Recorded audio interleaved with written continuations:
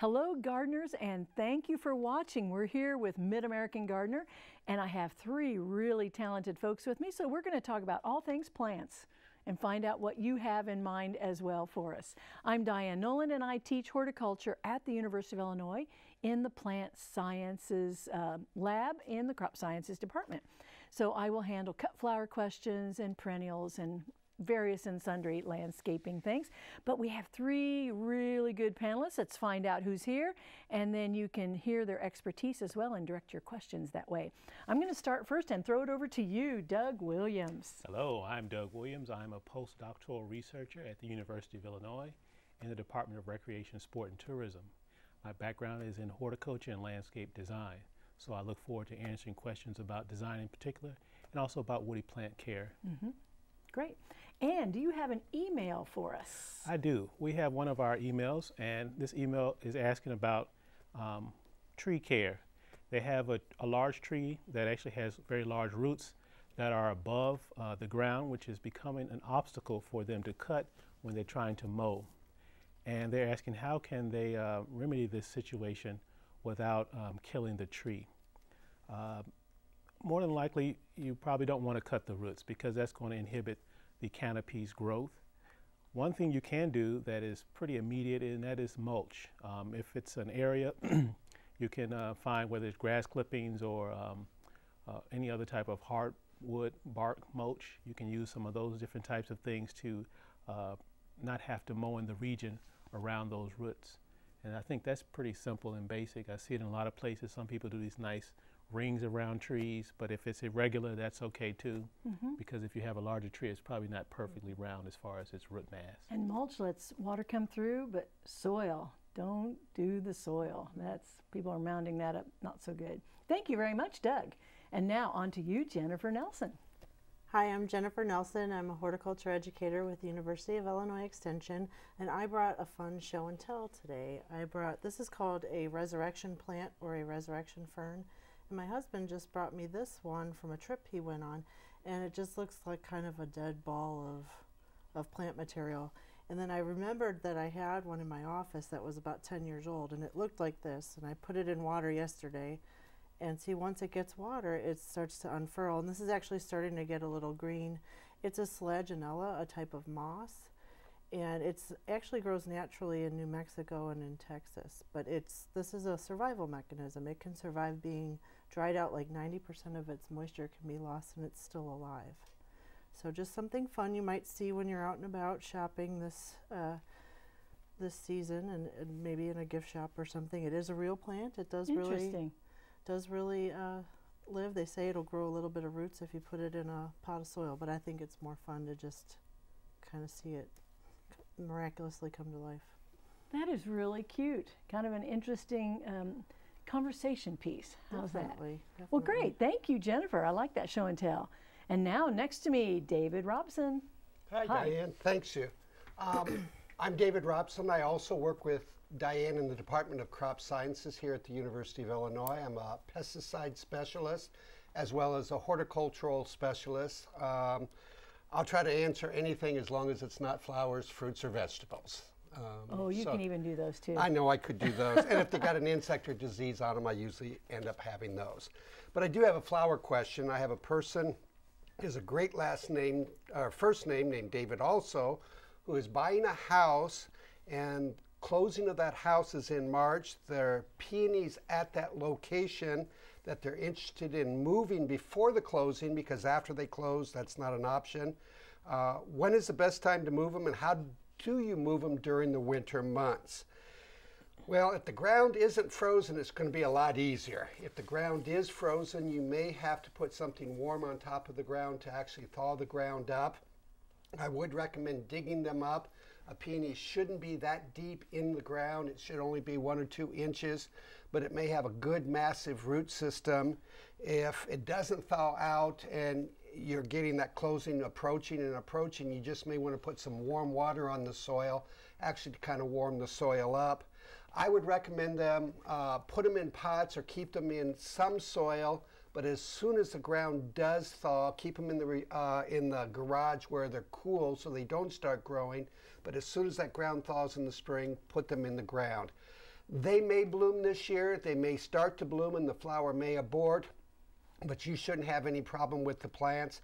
I've transplanted peonies in the dead of summer when it was 105 degrees and the darn things died and came up great the next year. So, mm-hmm. sort of like daylilies, it's kind of hard to kill them. I mean, you still can, but I would tell you go ahead, dig them up as soon as the ground starts thawing, put them in the garage in a pot. Don't put them in plastic where they may start rotting and plant them in as soon as possible in the spring. Okay, very good. Thank you. And next, let's go to our Did You Know segment.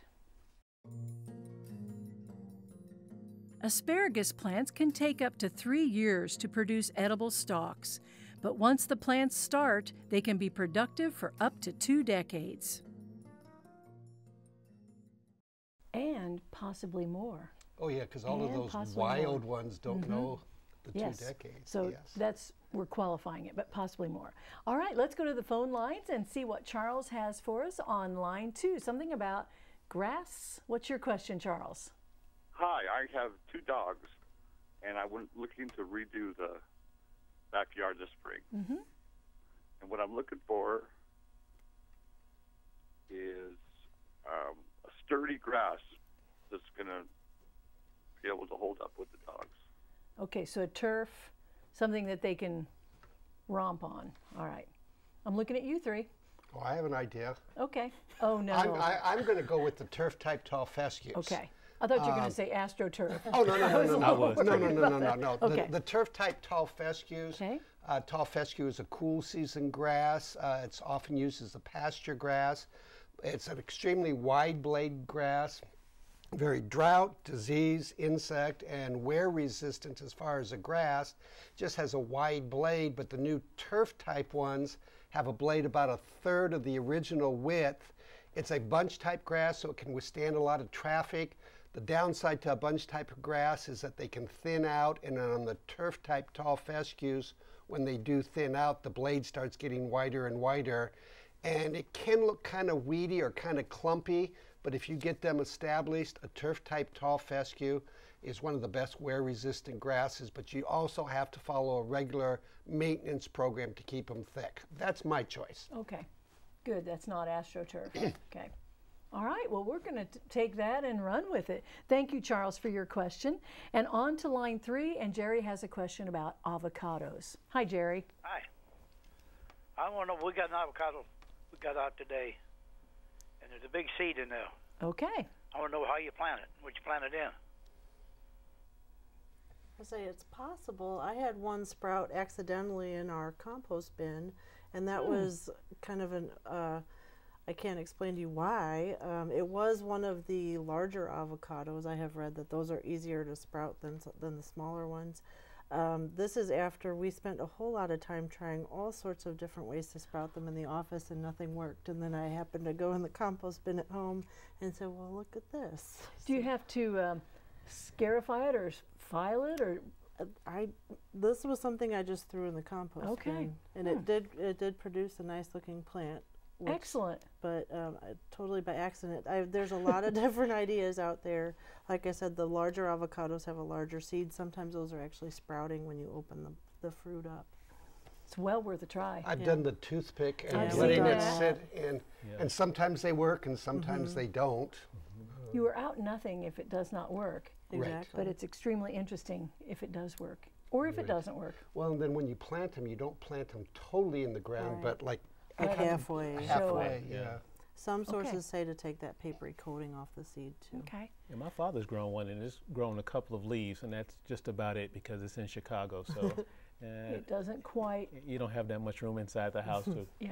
get but your still, fruit, it's fun to get it to that stage. He did, yeah, it worked. Yeah. Well, hey, give it a try, Jerry, and you can report back.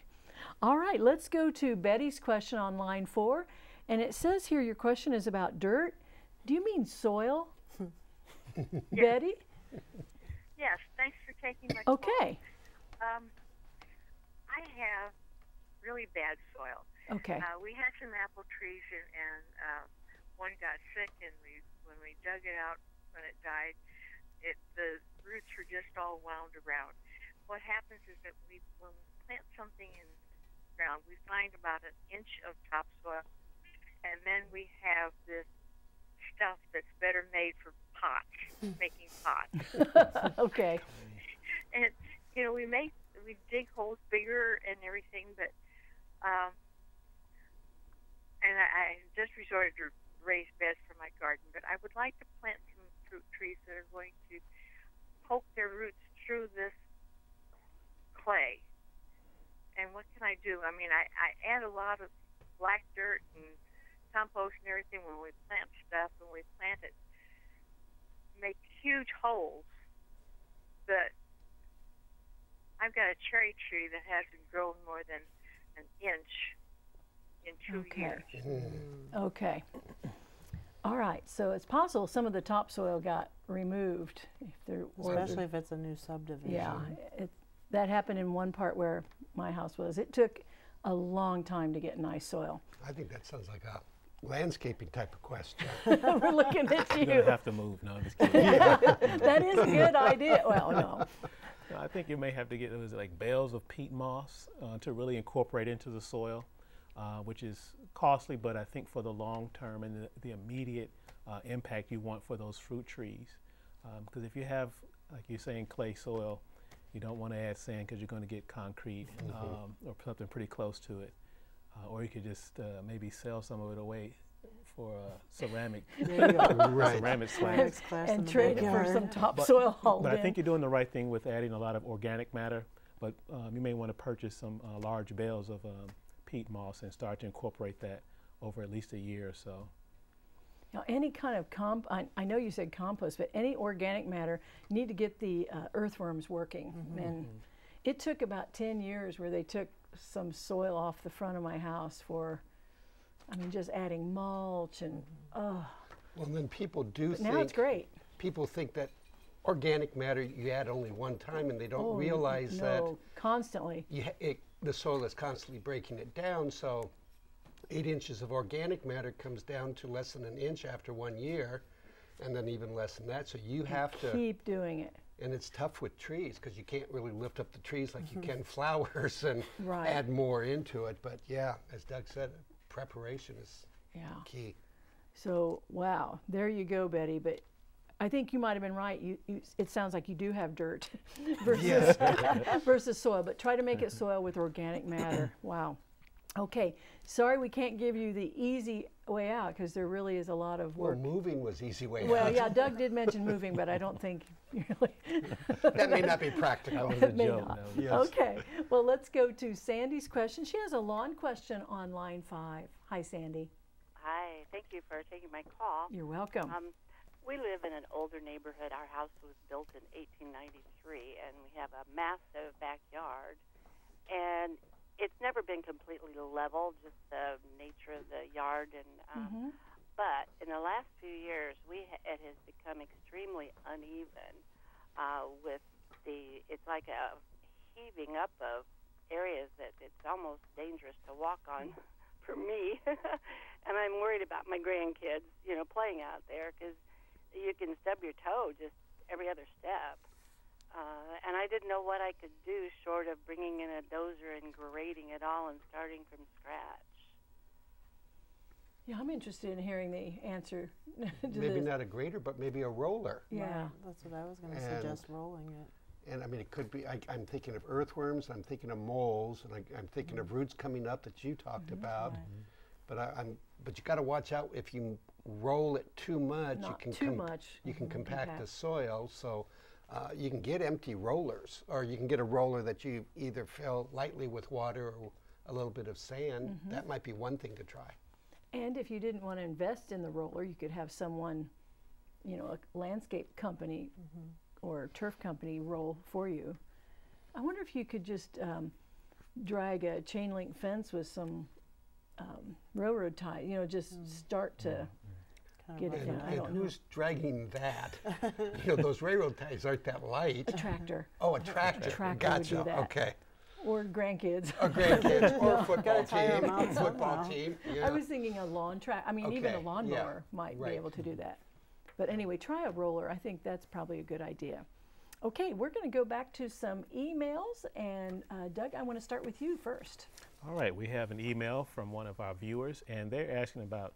Um, they have this Eve when we when your show ended, they were trying to contact us, and they mentioned that they have an issue with their lawn, and their lawn underneath a tree, which they believe is a linden tree, and I believe it is also based on the images that they sent in, and the grass isn't growing well under um, the, the uh, under two of them in particular, and they're wondering what to do about that. Well, once again, there, well, there actually are several things to do. One is they can actually uh, mulch if they don't mind having wood chips or use the rocks like they have under uh, the one tree with the uh, bricks. And if that isn't of your liking, you can um, try to reseed. You can use a blend and a mix of both fine fescue, tall um, uh, perennial rye, and uh, Kentucky bluegrass. And it should be able to um, fill in. Of course, do some soil amendment. Don't just sprinkle the seed on the existing area because I'm imagining that there's probably been a lot of leaf litter. And since uh, linden trees are pretty dense and um, stately as far as their pyramidal form. Uh, it's probably shaded out a lot of um, the growth of the uh, grass in the previous years. Another thing to do is you can explore with uh, different ground covers. You don't have to use turf. You can use uh, liriope. Uh, you can use Japanese spurge. You can use um, a number of different ones depending on your liking. So um, you can try these three different options: mulching, other perennials or ground covers, mm-hmm. or you can actually uh, reseed. That was a beautiful site too. Mm-hmm. You know, it's really what you want to do, but I think the reseeding they may have to do it again, again in a few yeah. years. But yeah. that was really those trees look beautiful. So very good. Thank you, Doug. And now Jennifer. Great. I've got a question from a viewer in Chicago, Illinois and they are looking for some easy perennials to grow in pots on a balcony because everything they plant in pots dies. Mm-hmm. And hard to say from their question whether they're dying just over the growing season or they're dying over the winter. Uh, but one of the questions I get pretty common is uh, wanting to plant things in a pot and having them overwinter in the pot. And one thing you need to remember is that you don't want that pot to freeze. So you need to move that pot into a garage unheated garage or shed, somewhere where it's not going to freeze solid because that freezing and thawing cycle will destroy the plant. I've had some really good luck overwintering um, different things in my garage that way. Um, but in terms of which perennials to choose, I would stay away from things like Baptisia that have a, a large taproot that are hard to transplant anyway. And putting them in the pot is just going to be uh, destined to fail. Um, anything that ha has a large root system or a very large plant is going to not do well in a pot. It's going to be hard to keep up with watering, especially on a balcony. I would stick to things that are smaller, more compact, and uh, also I wouldn't spend like buy the fanciest perennials that are out there because you are putting it in a pot. You want to try to treat those like an annual because you just never know. And a lot of people will be fooled by this winter where it's been a little warmer and think that everything can go in a pot and magically survive, and that's just not not the case around here. I have some friends, they'll do perennials, but they'll leave one pot that they just put a pot in there, mm-hmm. and then they move in and out with bulbs, oh, sure. annuals, herbs, just one of the pots. So they have one thing that's brand new and they recycle it in and out. That's a cool idea. But, you know, you still you still have to put something new in there sure. every so often. But it does kind of spark up your your pots. Change it up. Then I guess you give those plants away. I don't know. or you have a place to plant them. Okay, thank you. That was kind of a, a fun question. All right, now David. My question is exactly seven words. Help, the rabbits are eating my flowers. and actually, this was last summer, but rabbits don't really stop for any season of the year. Mm -hmm. So They'll be feeding on plants during spring, summer, fall, and winter. Uh, winter damage, in my opinion, tends to go more toward the trees and shrubs, and it can be really severe. Uh, when they start eating the flowers, it's because they're they're tasty. They're looking for anything to eat during the wintertime. Much the same thing as well as grinding down their teeth uh, because their front teeth. I, uh, Phil told me that they kept growing and growing. Mm -hmm. And if they don't grind them down, they end up uh, hurting themselves. Okay, so what do you do to control rabbits? Um, a good dog that um, we grew up with a collie and we never had rabbits in our yard, or at My least cat named Andy. and cats would be doing the same thing. Fencing is probably the only surefire way, um, but you got to make sure that the fence goes down deep into the ground and so they don't dig and tunnel underneath it. There are repellents that you can use. You know, people talk about throwing bags of human hair out there. Um, people talk about uh, wild animal urine as like coyote and wolf urine around the plants. It, it stinks. Your yard stinks Yeah. doing that, but you won't have rabbits. Um, Where do you find that? Uh, believe it or not, at hunting stores. Okay. Because hunters will put that on them so the deer don't smell them. So actually, you do go out there, and it, my question was how they collect it. I think that's more of an important uh, than where do you find. I'm sorry. Different Dianne. show. Different show. anyway, there are repellents too out there that don't smell as bad as some of these things.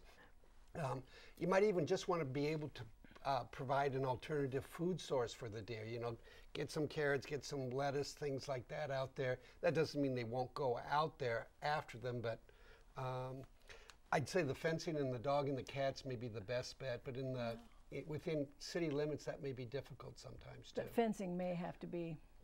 May be the best surest it way comes down to. Yep. How far down for the fence? About what, two, three feet? Well, uh, hopefully not that, Doug. You know, usually they say about six inches, but also bend it in because if they crawl under and they start to dig up, they're going to hit that fence too. So if you go with some type of fencing, uh, like if you use chicken wire, make sure you have at least some of it buried and at an L or an angle so they don't crawl up into the That makes uh, sense. into the into the garden. Okay. That makes good sense. All right, well, we're going to try to get in one more turf question on line two. Hi there. Hello. Do you have a question about turf? I have a comment about uh, turf. Okay. Uh, they recommended for the dog pen. Yes. Uh, I have two Great Danes on Zoysia, Oh, wow. On Zoysia, okay. and you know they use it for football fields and golf courses, and it's been perfect for me. They won't tear it up, and there's no weeds.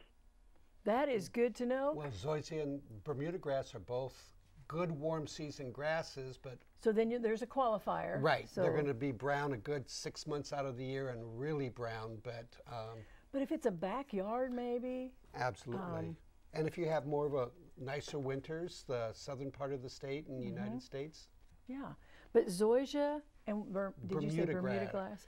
Um, I always I drive by a, a spot that has zoysia grass, and I'm always shocked at the even brownness of it. Um, Oh. Starting, I don't know, is it December through it's like November, November. through May, I think. through April for sure? April for sure, yeah. But if it's a backyard and it does hold up, then that would be worth it. So thank you for your uh, comment. We appreciate that. Let's go to our mag quiz next.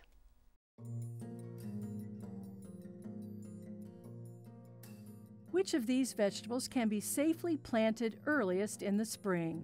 A. Garlic, B. Okra, C. Squash, D. Eggplant. A. Garlic. Garlic is a hardy plant and can be safely planted in late March. It can also be planted in the fall as early as September. Okay, so let's talk about garlic a little bit. When would you plant it, David? I would plant it in the fall, like you said at the very end. Yes. Um, but I, I, and you did, you said wait, wait, wait, Wait when for I said it. that, wait for it, and it was there. But And you plant fall, it in the fall because it'll often be bigger right? and nicer. I know Chuck Voigt always talks about it in the fall. oh, absolutely. Um, so, but, but you, you, can, still can do it in the spring. But you can do it in the spring. It just won't be those nice big cloves. So, so that's why there were two. But some of the earliest things to plant, and if they're perennial, you get early things like asparagus. If you've already gotten them planted, what would you plant that's early? I mean, not right now, but maybe March, April. Oh, lettuce or Radishes, radishes, lettuce, any of those early Spinach. spring crops. Spinach. Okay. Yeah. leafy vegetables. So there are things that you can plant, maybe even beets too. Peas, Yuck, event- you know, soon. peas. Oh yeah, those are good. I think we have one quick question on line two. Hi there, Jeff. Yeah, I have a quick question just about spring lawn prep. I want to do several things at the new house for us. Uh, I want to do a slit seeder to uh, try to renovate the lawn. I also want to roll it because it's a lot, real bumpy, and I also want to spray it for crabgrass. So could you give me just a timeline for that and which to do first? Okay. I'd say the timeline is for the crabgrass preventers is about when the forsythia is blooming, and you may have to repeat it about six weeks later, depending on what the spring is like. Uh, the downside is that if you're going to slit seed, you will probably kill your seeds with the crabgrass preventers. So you might want to wait until the fall to actually improve it with the grass seed, and then rolling as soon as the ground thaws out would be my recommendation for that. Which ties in well with the other person's Right. call that we had too. Right. So I like the idea of putting your crabgrass preventer on when there's a forsythia. That it just then you know at all parts of Mid-America when to do it. I like Absolutely. that. Okay, my the show went fast. I want to thank you each for watching. Have a great week gardening or planning your gardening. Bye bye.